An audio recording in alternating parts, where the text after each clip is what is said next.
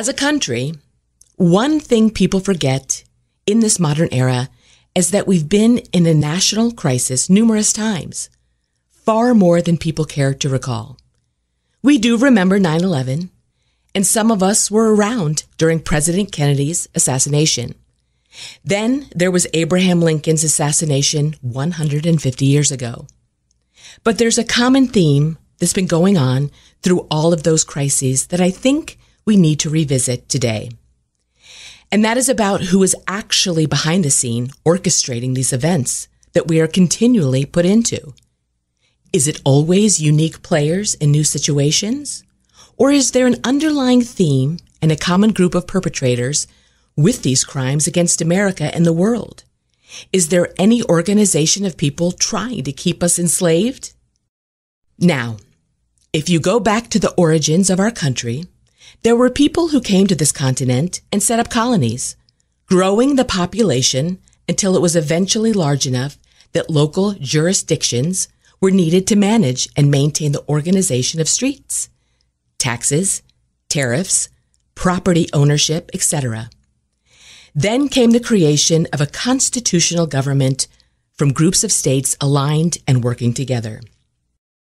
But immediately upon signing the Declaration of Independence, that federal system we established, called the United States of America, essentially needed to declare war against its motherland of England and the ruler, King George. We decided we were no longer going to be ruled from afar by foreign masters. We were not going to be their slaves here, helping to keep them prosperous there. So, we declared our independence and had the Revolutionary War that went on for a very long time, much longer than most people realize. Through the course of many battles, people were forced to pick a side. The willingness to go against England and King George was not universal from the outset. On numerous occasions, strategies and tactics were compromised by infiltrators and turncoats on both sides. But over time, People's true nature and alliances were revealed, just as is playing out once again before us today. Even some of those closest to President Washington became traitors against him and our newly formed country for the gains they would earn from their British partners. And even after we won the Revolutionary War, when the Brits had retreated, we then needed to win a second war against England. The War of 1812 was foisted upon us by people trying to get control of America again through our money and banking systems. That was a very extensive battle and bad situation that we had to again fight our way out of. By most accounts, it was a banker's war to gain control of our banking and monetary systems. They wanted to control our currency even though the Constitution would only allow for our own government to create our money. As we move forward in time, what happened during Abraham Lincoln's presidency? Early on in his administration, and instigated by monarchy agents out of Europe, a rift was accentuated between the northern and southern U.S. With that, another variation of the same old bankers' wars was created. In order to get money to fight that war, Lincoln needed loans from the European banks that held monarchy money, the bloodline families' money. Those 13 bloodline families were represented in the colonies that had to pursue funds to fight this war against the South. But the bankers wanted 24% to 36% interest. So Lincoln declined that extortion and used his presidential powers to issue interest free money having no indebtedness to foreign bankers. This currency was based on the good faith and credit of the American people and their government. It was not backed with silver or gold, but worked for all debts, whether public with government entities or private individuals and their businesses. With green printing on the back, that money Lincoln issued became known as greenbacks, which is where we get that same term used today. One of the interesting things about those greenbacks is that they were hated by the foreign banks.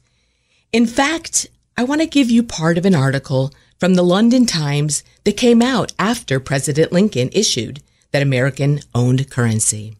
Quote, if that mischievous financial policy, which had its origins in the North America Republic, should become indurated, established, down to a fixture, then that government will furnish its own money without cost. It will pay off debts and be without debt. It will have all the money necessary to carry on its commerce. It will become prosperous beyond precedent in the history of the civilized governments of the world. The brains and the wealth of all countries will go to North America. That government must be destroyed or it will destroy every monarchy on the globe. Unquote. The bankers obviously got it. Those 13 royal bloodline families of which the Rothschilds sit at the head of the table there in the city of London understood that the only real threats to their power are sovereign governments like ours that are able to print their interest free and debt free paper money. Those bankers knew it would break the power over people in the U.S. and then spread to the rest of the world. Think about what Lincoln did there, after which he also fought the Civil War and won. A decade after that war ended, greenbacks had become worth as much as gold and had even been moved higher. So today, people are wondering how well we're going to do as a country.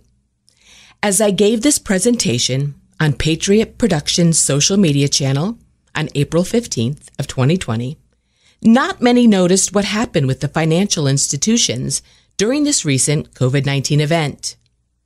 President Trump moved the private banking cartel's Federal Reserve Bank under U.S. Treasury Authority, where the Secretary of the Treasury, Steve Mnuchin, is answerable only to the President of the United States.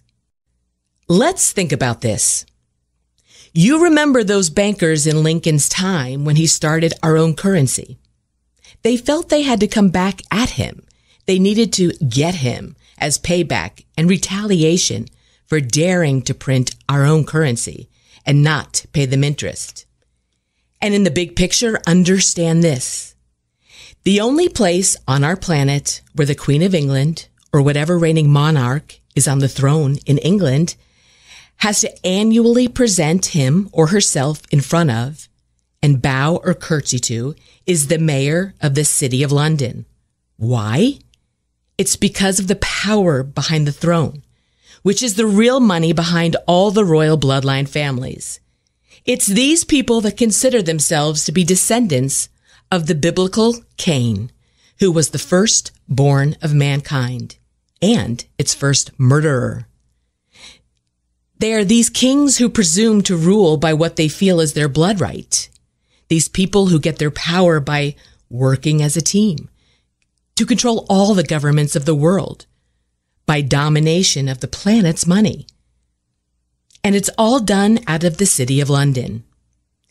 Annually, the Queen of England has to present herself to the mayor of the city of London and does so with her shoes off. She curtsies, and defers to that mayor's authority, which comes from the bankers. And it's because that mayor runs a city state, the City of London, which is not a part of England, but is on its own sovereign territory, just as are the city states of the Vatican and Washington, D.C. During the Kennedy administration, President Kennedy had a similar situation he also realized what was going on with these people. So he set out to create our own currency that would again be interest free money. Remember this very telling admission from Meyer Amschel Rothschild. Quote, Permit me to issue and control the money of a nation, and I care not who makes its laws. Unquote. When Kennedy came into office, he was fighting these monsters who were really destroying the United States. They created wars and pushed us into all kinds of other efforts we didn't want to take on. And that's because they have always manipulated us in their pursuit of making money from us, constantly keeping us in battles they'd like, using our citizens and the American military against other lands. They instigate and push wars all over the planet with use of Americans and our military might, as if we're a branch office of their Secret Service spy agencies around the world. After the Bay of Pigs and various other events that President Kennedy either dealt with or witnessed, he came up with a solution. On June 4th of 1963, he signed Executive Order 11110, which is an interesting number because World War I ended in the 11th month, on the 11th day, and at the 11th hour of the day. That is precisely when those in control stopped the war. Why? It's because of the numerology. 11, 11, 11 is symbolic for them. President Kennedy, being knowledgeable about their codes and numbers, sent them a little coded message with 11s. It said, quote, Hey, we're going to stop your wars, unquote. It was Kennedy's answer to World War I and World War II, as well as a message for those trying to get us into World War III and running our country's finances, that executive order gave President Kennedy the legal authority to create money that was interest and debt free. Currency belonging only to the American people. It was just what Lincoln had done with his greenbacks. Kennedy had those notes printed, blatantly ignoring the Federal Reserve notes from the private banks. Even today, Many Americans don't understand that the Federal Reserve and the Internal Revenue Service, the IRS, are no more federal than Federal Express. They are administered by federal employees, but as the U.S. courts have shown, the IRS is a Puerto Rican corporation. And of course, there is nothing in the Federal Registry identifying an income tax, which is because it's voluntary. Each year, we Americans voluntarily assess for ourselves a certain amount we supposedly owe. Of course, at the end of the day, it's enforced using the statutes regarding liquor, tobacco, and firearms, just as though it is a mandatory tax. And the courts, as well as the rest of our legal system, have gone along with it. In fact, months before 9 11 happened in 2001, Congress had scheduled hearings for October of 2001 to look into the legality of the IRS and the way laws surrounding it have been enforced. But those hearings never happened because of 9-11. So, repeatedly over time, we've had incidents occur that changed the course of the country. And April seems to be an appealing month for their events. They kind of enjoy making their things happen in April. Why is that? Well, most of us probably don't realize that the Gregorian, Julian, and other calendars that have been put forth over time for us to use are not the same calendar used by those people we are engaged against. These royal and banking families actually go by the Babylonian calendar.